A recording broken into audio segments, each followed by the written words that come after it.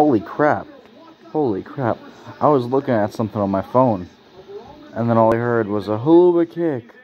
And then boom. Sami won for the bloodline.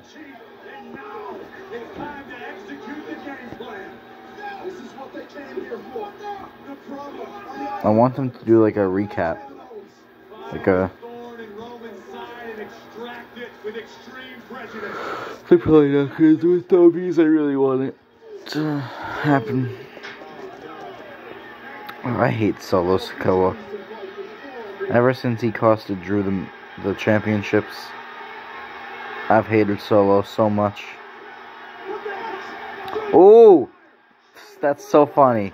I was just talking about him. And here's my boy, Sheamus. What's up, lad? My lad's over here. Yep, yep. Come on. It's fight night.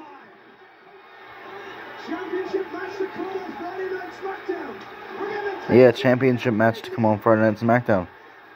Totally forgot about that, actually. Oh, Glasgow Kiss. Boom. McIntyre and Sheamus have cleared the ring of the bloodline. That is what you get, Bloodline.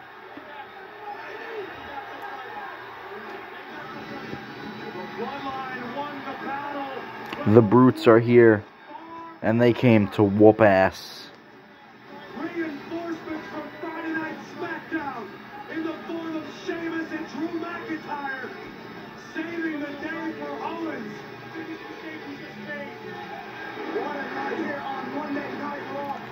a You two made a big mistake.